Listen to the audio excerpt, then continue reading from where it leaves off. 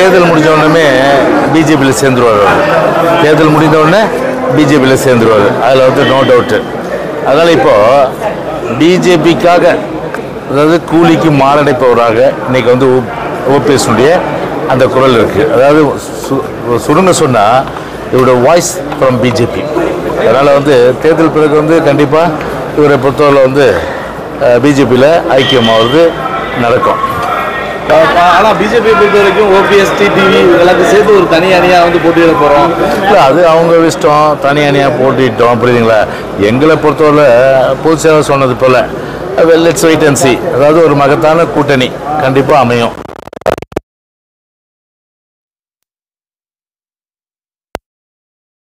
அந்த கூட்டணி வந்து கண்டிப்பாக அமையும். ஒரு மகத்தான கூட்டணி அமையன்ற அந்த கருத்தை வந்து புதுசாக சொல்லியிருக்காரு. அது நடக்கும். ஸோ தேர்தலுக்கு நாள் இருக்கிறதுக்குள்ள பொறுத்து வந்து பாருங்க நீங்கள் நான்கரை ஆண்டு காலம் வந்து பாஜக தயவுல தான் வந்து அதிமுக ஆட்சி நடைபெற்றது அப்படின்ற மாதிரி சொல்லியிருக்காரு சட்டமன்ற உறுப்பினர்களுடைய மெஜாரிட்டியின் அடிப்படையில் தான் ஒரு நல்லாட்சி நம்முடைய அண்ணன் எடப்பாடியார் அவர்கள் வந்து அதே போன்று வந்து நம்முடைய புரட்சி தலைவி அம்மா வந்து எவ்வளோ எண்ணற்ற திட்டங்கள்லாம் வந்து கொண்டு வந்தாங்க. இன்றைக்கி மூடு விழா பண்ணிடுச்சு இந்த விடியாத அரசை பொறுத்தவரை புரட்சி தலைவி அம்மா மறைவுக்கு பிறகு ஒரு நல்லாட்சி வந்து அண்ணன் பொதுச்சாளர் எடப்பாடியார் வந்து சட்டமன்ற உறுப்பினர்கள் பெரும்பான்மை ஆதரவு.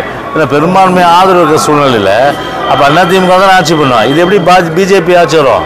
இதெல்லாம் வந்து கொஞ்சம் மரக்கழுட்டு போன விஷயங்கள் தயவுசெய்து பேச வேணாம். ஆனா ஆனா தேமுதிக பொறுத்த வரைக்கும் பதினாலு சீட்டு யார் கொடுக்குறாங்களோ அவங்களோட தான் கூட்டணி அது அவங்களோட பதினாலு சீட்டு வந்து அதிமுக ஒரு கட்சி வந்து ஆஃபர் பண்ணுறது அந்த கட்சியினுடைய விருப்பம். இன்னொரு கட்சி வந்து accept acceptance whether it is accepted or not அப்படின்றது இன்னொரு கட்சியினுடைய ஒரு கருத்து. அந்த வகையில் அவங்க கட்சியுடைய கருத்து சொன்னாங்க. ஆனால் அந்த கருத்து வந்து அவங்களுடைய கருத்து.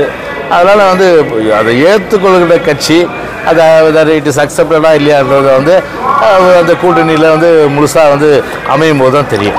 அதாவது நான் சொல்கிறதுனா வந்து பொதுச்சாளர் அது வந்து கட்சி வந்து அனௌன்ஸ் பண்ணோம். எது எதுவாக இருந்தாலும் சரி. அதாவது தேமுதிக இருந்தாலும் சரி பாமக இருந்தாலும் சரி அந்த பிஜேபி தவிர்த்து அப்படி இருக்கிற நிலையில் கண்டிப்பாக வந்து பார்த்தீங்கன்னா அவங்களுடைய ஆஃபர் அது. அந்த ஆஃபருக்குள்ளே நான் வந்து எதுவும் சொல்ல முடியாது. ஆனா ஆனா இப்ப நாற்பதுக்கு நாற்பதுமே வந்து கூட்டணி இல்லாத பட்சத்துல அதிமுக தனிச்சு போட்டிடுன்ற ஒரு டாக் வந்துட்டு இருக்கு அதை சொல்லுங்க. இல்லை இப்போது நீங்கள் நினைக்கிற இப்போ புரட்சி தலைவரும் சரி புரட்சி தலைவி அம்மாவும் சரி பல சந்தர்ப்பங்களில் வந்து தேர்தல் காலத்தை தனியாக சந்திச்சிருக்காங்க. அது தனியாக செஞ்சு மகத்தான வெற்றி அனைத்து இந்திய அண்ணா திராவிட முன்னேற்ற கழகம் பெற்றிருக்கு. அந்த மாதிரி ஒரு சூழ்நிலையில் கண்டிப்பாக வந்து அந்த வழியில் கண்டிப்பாக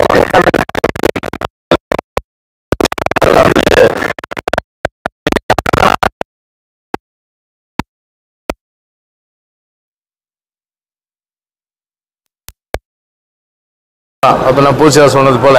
ஆனால் அதே நேரத்தில் வந்து தனித்தன்மையோடு எங்களுடைய அந்த ஒரு இதை வந்து நாங்கள் வந்து பல கட்டங்களில் வந்து நாங்கள் வந்து நிரூபிச்சிருக்கோம். அதனால் வந்து அந்த வகையில் பார்த்தீங்கன்னா எங்களோட வந்து க கூட்டணி கட்சிகள் வரும்போது அவர்களுக்கு வந்து அது ஒரு பெரிய ஒரு அங்கீகாரமாக தான் நிச்சயமாக இருக்கும். ஆனா அதிமுக அதிமுக வந்து எதிர்பார்ப்பு மற்ற கட்சிகள் தான் எதிர்பார்த்து வேண்டிய சூழல் இருக்கும். ஆனா இந்த முறை வந்து பிற கட்சிகள் வரட்டும் அப்படின்னு சொல்லி அதிமுக காத்திருக்கிற மாதிரியான ஒரு சூழல். அப்படி யார் சொன்னா அது மாதிரி? அந்த மாதிரி இல்லையே அது. பிஜேபி வந்து இப்போது இல்லை எப்போது இல்லை ஸ்டாண்ட் எடுத்தாச்சு. இப்போ தேர்தல் வந்து இன்னும் அனௌன்ஸ் பண்ணல. தேர்தல் இன்னும் வந்து இப்போ பார்த்தீங்கன்னா மார்ச் மாதத்துக்கு மேலே தான் மார்ச் மிடில் தான் அனௌன்ஸ் பண்ணுற மாதிரி சொல்கிறாங்க இப்போ எவ்வளோ டைம் இருக்கு இல்லையா அது? அந்த டைமில் வந்து கண்டிப்பாக வந்து ஒரு மகத்தான கூட்டணி வந்து நிச்சயமாக எங்கள் தலைமையில் அமையும். அதனால் வந்து நாங்கள் போய் யாரையும் போய் வந்து கெஞ்ச வேண்டிய அவசியம் கிடையாது. நாங்கள் போய் யாரும் இப்போ யார் வீட்டு கதையும் போய் தட்ட வேண்டிய அவசியம் கிடையாது. எங்களை நோக்கி தான் கண்டிப்பாக கட்சிகள் வரும். அதிமுக கூட்டணி கூட்டணி அமையும் பட்சத்தில் அதிமுக எத்தனை தொகுதிகளில் தனிச்சு நிற்கும் எத்தனை தொகுதியும் கூட்டணிக்கு கொடுக்கும் இலக்கை இப்போ இலக்கை பொறுத்தவரையில் வந்து பார்த்தீங்கன்னா நாற்பது புரியுதுங்களா? கண்டிப்பாக அந்த இலக்கை உண்டான அந்த ஒரு சூழ்நிலை தான் இன்றைக்கி வந்து தமிழ்நாட்டில் இன்றைக்கி அரசியல் கலை இருக்குது ஏன்னா பொதுவாக பார்த்தா நேற்று கூட பா பார்த்துருப்பீங்க நீங்கள் அந்த கிளாம்பாக்கத்தில். கிட்டத்தட்ட விடிய விடிய வந்து பார்த்தீங்கன்னா ஒரு இந்த மறியல் வந்து பேருந்து போதிய பேருந்து விடல. அதே போல் பார்த்தா இன்றைக்கி ஹைகோர்ட் போய் ஆம்னி பஸ் வந்து இன்றைக்கி ஒரு ஆர்டர் வாங்கியிருக்காங்க. ஸோ ஒரு துக்ளக் அரசாங்கம். அதாவது அரசாங்கம்னா ஒரு விழிப்போடு இருந்து வருமுன் காத்து மக்களுக்கு என்னென்ன செய்யணும்னு சொல்லிட்டு எல்லா ஏற்பாடு முன்னேற்பாடு நடவடிக்கையும் செஞ்சு அது வெள்ள சமயத்திலும் சரி மற்ற விஷயங்களும் சரி எல்லாத்தையும் கோட்டை விட்டுருது. ஸோ முழுமையான அளவுக்கு ஒரு நிர்வாக திறமற்ற ஒரு திறமை இல்லாத ஒரு விடியாத அரசு தான் இன்றைக்கி தமிழ்நாட்டை வந்து வஞ்சித்துட்ருக்கு இன்னைக்கு தேர்தல் வாக்கு நிறைவேற்ற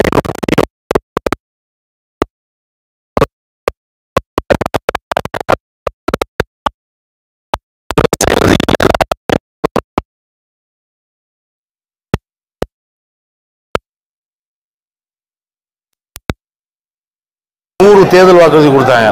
அந்த நூறு தேர்தல் வாக்குறுதியில் நான் கேட்குற மொத்தத்தில் இன்றைக்கி திருமதி கனிமொழி அவங்க கட்சி சார்பாக மாவட்டத்தோட போகிறாங்க இன்றைக்கி கூட எங்கள் கோயம்புத்தூரில் ஏதோ வாங்குறாங்க போல இருக்குது புளியை பார்த்து பூனை சூடு போட்ட மாதிரி எங்களை பார்த்து இன்றைக்கி அவங்கள வந்து பார்த்தீங்கன்னா முதல்ல வந்து நாலு சோத்துக்குள்ளே இருந்துக்கிட்டு தான் வாங்கினாங்க. இப்போ தான் வந்து ஆடிட்டோரத்தில் வச்சு எல்லோரும் கருத்து கேட்குறாங்க அது கூட எங்ககிட்ட வரக்கூடாது. மனு கொடுக்கலாம் சொல்லிட்டு உருட்டல் மிரட்டல் வேறு. அதையெல்லாம் தாண்டி இன்றைக்கி வந்து எல்லாம் வந்து இன்றைக்கி மனு கொடுத்துருக்காங்க. அது வேறு விஷயம். ஆனால் இப்படியெல்லாம் வந்து ஒரு அச்சுறுத்தல் பண்ணுறது அதே போல் தேர்தல் வாக்குறுதி பொறுத்தவரை ஐநூற்றி இருபது பண்ணாங்க. இப்போ வந்து நூறு வாக்குறுதி வந்து சட்டமன்றத்தில் ஐநூற்றி இருபது நூறு வாக்குறுதி பாராளுமன்றத்தில். இந்த ரெண்டுமே ஒரு வெள்ளை அறிக்கை கொடுங்க. எத்தனை பண்ணியிருக்கீங்கட்டுன்னு ஒன்றும் பண்ணல. ஒன்றும் பண்ணாமல் இப்போ ஒரு தேர்தல் அறிக்கையா? இப்போ ஒரு தேர்தல் அறிக்கை. இப்போ ஒரு தேர்தல் அறிக்கையில் வந்து இது மாதிரி வந்து ஊர் ஊருவா போய் வாங்கினா மக்கள் நம்புவாங்களே ஏற்கனவே ஒன்றும் கிழிக்கல. இப்போ வந்து நீங்கள் வந்து வந்து என்ன கிழிக்க போகிறீங்க இப்போ அதுதான் இப்போ மக்களுடைய கேள்வியாக இருக்குது நெசவாளர் கேள்வியாக இருக்குது விவசாயிகள் கேள்வியாக இருக்குது மீனவர்கள் கேள்வியாக இருக்குது தொழிலாளர்கள் கேள்வி கேட்க கேள்வியாக இருக்குது தொழில் முனைவர் கேள்வியாக இருக்குது அப்புறம் வந்து கு- சிறு குறு தொழில் தொழிலதிபர்கள் எல்லாமே இன்றைக்கி வந்து அதுதான் இன்றைக்கி கேட்குறாங்க இன்றைக்கி அதனால் கண்டிப்பாக பார்த்தா அவங்களுக்கு நம்பிக்கை அதிமுக செய்யணும். அந்த வகையில் தான் இன்றைக்கி வந்து அதை உருட்டல் மட்டத்தில் மீறி இன்னைக்கு வராங்க. இப்போ இன்னைக்கு பாராளுமன்றத்தில் இன்றைக்கி வந்து சத்தம் போட்டிருக்காங்க. எலெக்ஷன் வரும்போது தான் எங்களுக்கு வந்து மீனவர்களும் சரி அதே போல் விவசாயிகளும் சரி எல்லாருமே கணக்கு தெரிவாங்க. எலெக்ஷனுக்கு முன்னாடி பார்த்தா யாரும் கணக்கு தெரிய மாட்டாங்க. போனால் அங்கே வந்து பார்த்தா போண்டா டீ எல்லாம் சாப்பிட்டுட்டு மக்கள் வரி பணத்தில் அதோடு திரும்பி வர வேண்டியதான் தமிழ்நாட்டுக்கு வந்து உருப்படியான திட்டங்கள் நிறைவேற்றுவதற்கு எந்த விதமான அளவுக்கு வந்து ஒரு வகையில் வந்து பாராளுமன்றத்தை ஸ்தம்பிக்க வைக்கணும் முடக்கணும். காவிரி பிரச்சனை முப்பத்தெட்டு எம்பி வந்து நாங்கள் ஸ்தம்பிக்க வச்சோம்.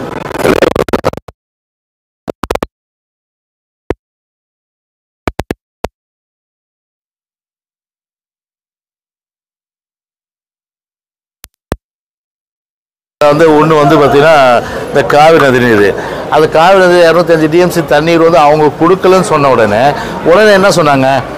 எங்களுக்கு வந்து பதவி புத்தோல்ல தோலில் போட்டிருக்க துண்டு இல்லை. கட்சி தூக்கி கிடாசிட்டு வாபஸ் வாங்கினாங்க. வாபஸ் வாங்கினதுனால அன்னைக்கு கவர்மெண்ட்டே டாப்பில் ஆச்சு. அப்போ தமிழ்நாட்டோட உரிமைக்காக ஒரு மத்திய அரசு செய்யலைன்னோ வாபஸ் வாங்கி தொண்ணூற்றி ஒன்பதில் டிசால்வ் ஆச்சு. கவர்மெண்ட் போச்சு. உடனே திரு கருணாநிதி அன்னைக்கு மதவாத மதவாத சக்தின்னு சொல்லிட்டு உடனே வந்து மூணாவது மாதத்துலேயே போய் பிஜேபியோட கூட்டணி வச்சு திருப்பி அங்கே போய் ஐக்கியமாய் அஞ்சு வருஷம் சொலையாக வந்து இருந்தாங்க. சரி அதெல்லாம் கணக்கு போட்டு மொத்தம் பதினேழு வருஷம் பார்த்தா மாநிலத்துக்கு என்ன இவங்க செஞ்சாங்க சொல்லுங்கள் நாங்கள் வந்து பார்த்திங்கன்னா மாநில உரிமைக்காக பண்ணோம். இஸ் ஸ்ரீலங்காவில் இலங்கையில் பார்த்தீங்கன்னா உங்களுக்கு வந்து கிட்டத்தட்ட ஒன்றரை ஒன்றே முக்கால் லட்சம் பேர் முள்ளி வாய்க்காலில் படுகொலை செய்யப்பட்டாங்க. மத்தியில் இருந்து ஒரு வார்த்தை உங்களுக்கு தர ஆதரவை நாங்கள் வாபஸ் வாங்கிடுவோம். போகிற நிறுத்தம் சொல்லுங்க அப்படின்னு திமுக சொல்லிச்சா சரி இலங்கை கடற்படை இவ்வளோ தூரம் கஷ்டப்படுறாங்க. மாநிலத்தோட உரிமையாக இருக்கின்ற கச்சத்தீவு. அந்த கச்சத்தீவை பொறுத்தவரையில் அன்னைக்கு தாரை வார்த்து கொடுத்தது யாரு? திரு மு. கருணாநிதி தானே அன்னைக்கு தாரை வார்த்து கொடுத்தாரு? இரு தம்பி நீங்க கிராஸ் பண்ணீங்களா வேற திமுக மத்திய அரசு திமுக ஆதரவா திமுக ஆதரவா பேசி குறுக்கிட்டாதீங்க. நான் சொல்ல வர்றது என்னன்னா கடை இலங்கை வந்து கச்சத்தீவு தாரை வார்க்கும்போது அன்னைக்கு வந்து பெரிய அளவுக்கு எதிர்ப்பு தெரிவிச்சிருக்கணும். முடியாது. அந்த மாதிரி தாரை வைத்தா எங்களுடைய எல்லை சுருங்கிடும். அதனால என்ன ஆகும்? எங்களுடைய மீனவர்கள் வந்து பாதிக்கப்படுவாங்க. கிட்டத்தட்ட ஆயிரம் வருஷமா கச்சத்தீவுக்கிட்ட மீன் பிடிச்சிட்டு இருக்காங்க. எல்லையை சுருக்குந்து யாரு? திரு கருணாநிதி. அன்னைக்கு தாரை வார்த்து கொடுத்துட்டாரு. கொடுத்துட்டு கிட்டத்தட்ட பல கஷ்டம். எங்க ஆச்சு இப்போ தொடர்ந்து தாக்குதல் இருந்தாலும் கூட யார் ஆட்சியில் தாக்குதல்? அங்கே ஸ்ரீலங்கா பார்க்கணும். நம்ம தமிழ்நாட்டில் யார் வந்து? ஒரு ஒரு வந்து ஒரு ஃபேர்ம் கவர்மெண்ட் அதாவது ஒரு ஸ்ட்ராங்கான கவர்மெண்ட்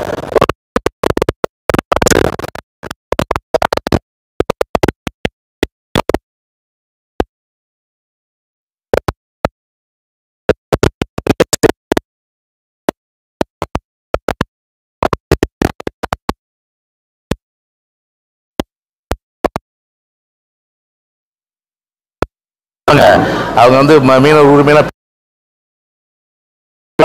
எல்லையை வேண்டுமே தாண்டது மீனவர்கள எல்லை தாண்டுறதெல்லாம் பார்த்தீங்கன்னா எல்லாமே வந்து கடலுக்கு அந்த காற்றின் வேகமாக காரணம் தான் எல்லை தாண்டுறாங்க. வேணும்னு யாரும் தாண்டதில்ல கா இது இப்போ இங்கே தெரியும் பார்டர் இது. இப்போ இங்கே ஈரோடு பார்டர் இது கோயம்புத்தூர் பார்டர் இது திருப்பூர் பார்டர் இதுன்னு இங்கே தெரியும். ஊட்டி பார்டர் எது இங்கே தெரியும். கடலில் தெரியுமா பார்டர் ஒன்று ஒன்றுமே தெரியாது. அப்படி இருக்க சூழ்நிலையில் எல்லை தாண்டும் போது அவங்கள பிடிச்சி ஜெயிலில் போட்டு படகை வந்து சீஸ் பண்ணி சீஸ் பண்ணது இல்லாமல் ஏலம் விடுறாங்க. இந்த மாதிரி ஆனால் அந்த நீங்கள் எடுத்து பாருங்க எங்கள் ஆட்சியில் குறைவான சம்பவங்கள். பயம் இருந்தது. தமிழ்நாடு அரசு மேலே அம்மாவோட அரசு மேலே பயம் இருந்தது.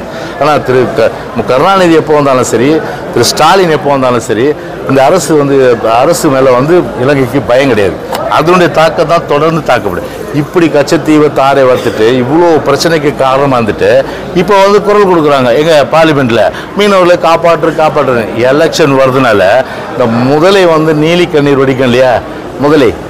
திமுக என்ற முதலை நீலி கண்ணீர் வடிப்பது போல தான் இன்றைக்கி வந்து ஒவ்வொரு மீனவனும் இன்றைக்கி கண்டிப்பாக கருதுவான்.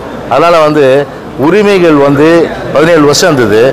ஏன் அன்னைக்கு வந்து ஒரு ஸ்ட்ராங்காக வந்து கச்சத்தீவு நம்முடைய உரிமை அதை நம்ம மீட்டெடுப்பு சொல்லிட்டு அங்கே வந்து பார்லிமெண்ட்டில் நீங்கள் வந்து ஒரு சட்டத்தை நிறைவேற்றி முழுமையான கச்சத்தீவு திரும்ப பெற வேண்டியதானே ஏன் பெற தவறுனீங்க நீங்கள் அதை தவற விட்டுட்டீங்க நீங்கள் அதுக்கப்புறம் வந்து பார்த்தீங்கன்னா வந்து நிறைய வந்து மாநில வந்து உரிமைகள் எல்லாம் வந்து பறிக்கப்பட்ட நிலையில் அதெல்லாம் நீங்கள் வந்து நீட்டிலேருந்து நீட்டிலேருந்து எல்லா விதமான விஷயங்களும் அன்றைக்கி திமுக ஆட்சியில் தானே கொண்டு வந்துப்பட்டது ஜல்லிக்கட்டு கூட அன்றைக்கி வந்து அன்றைக்கி வித்துட்டது யார்? திமுக.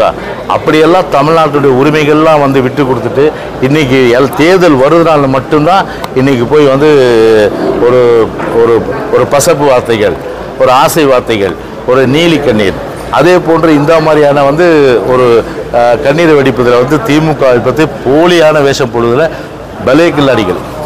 அதிமுக கூட்டணியில கூட்டணி அமைத்து போட்டியிடும் பட்சத்துல எத்தனை தொகுதிகள் கூட்டணிக்கு தொகுதிகள் இல்ல, அதுதான் அதுதான் நம்ம சொன்னோம் இல்லையா? மகத்தான வெற்றி நிச்சயமா நாங்க பெறுவோம்.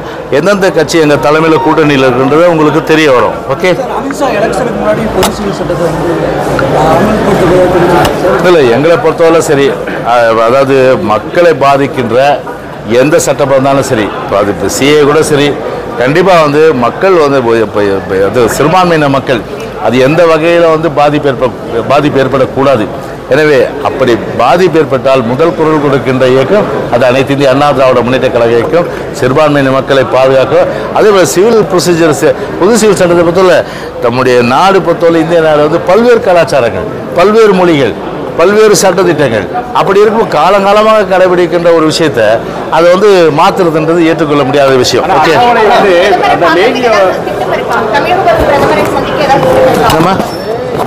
தமிழகத்துக்கு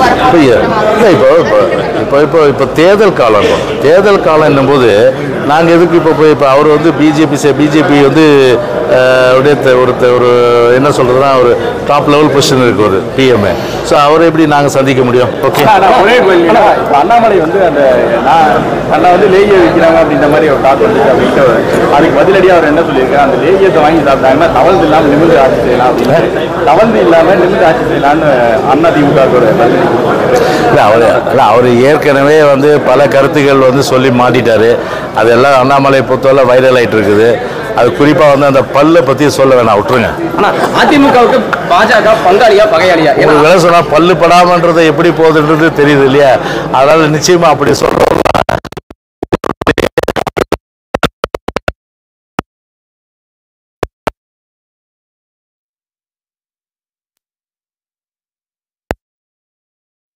திமுகவும் பகையாளி. எங்களை பொறுத்த அரசியல் ரீதியாக எதிர்க்கின்ற இப்பகையாளின்னு சொன்னால் பிஜேபி கூட. ஓகே மறைமுகமாக உங்ககிட்ட பேச்சுவார்த்தை